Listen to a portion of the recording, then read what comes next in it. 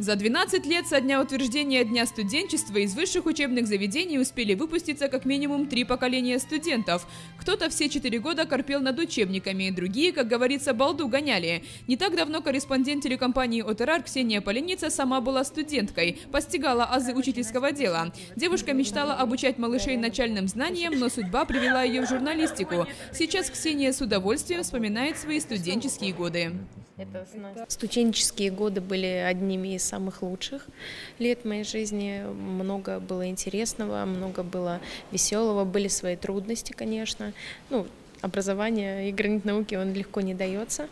А, но все равно это такой момент вот после школы, когда ты вольный, сам себе хозяин. А вот в наше время было по-другому. Привычная фраза, которую мы часто слышим из уст старшего поколения. Их студенческие годы действительно кардинально отличаются от жизни нынешних студентов. То есть осень промозглая, ужасная такая.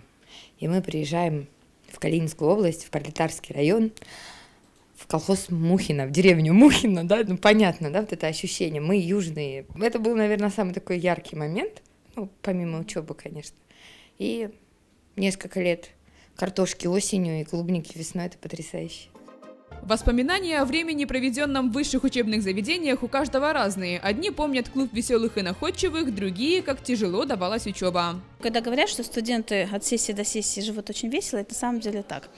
А, жизнь кипит а, между сессиями, которая не очень, не всегда связана с учебой, с зубрежкой и со всяким прочим. Это студенческие весны, это различные КВН, это различные акции. А, самый запоминающийся момент моей студенческой жизни, это было, знаешь, как, как бах, это взрыв мозга, это вообще, вот я никогда не забуду, если даже мне будет 80 лет, э, я забуду имена внуков, детей, но я это никогда не забуду. Самый запоминающий момент студенческой жизни, это было мое отчисление.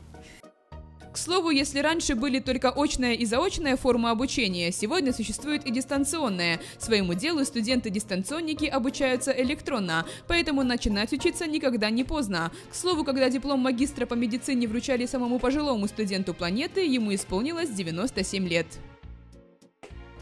Очно, заочно или, как я, дистанционно гранит науки можно грызть по-разному, причем в любом возрасте. Конечно, чтобы в полной мере ощутить себя студентом, нужно сидеть на парах или общаться с однокурсниками, поэтому, признаться честно, я немного завидую студентам-очникам. Э, чтобы развеять это чувство своей студенческой неполноценности, можно почаще находиться рядом с университетами. Вот так вот присесть на лавочку и ощутить себя частью большой студенческой жизни.